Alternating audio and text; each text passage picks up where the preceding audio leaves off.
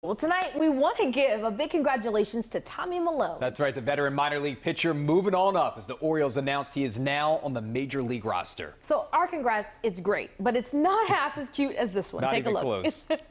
Congratulations, Daddy. I love you. I love you, Daddy. Hey, Maddie, can you I say miss you, Daddy. can you say congratulations, Daddy? For the little Daddy. I love you.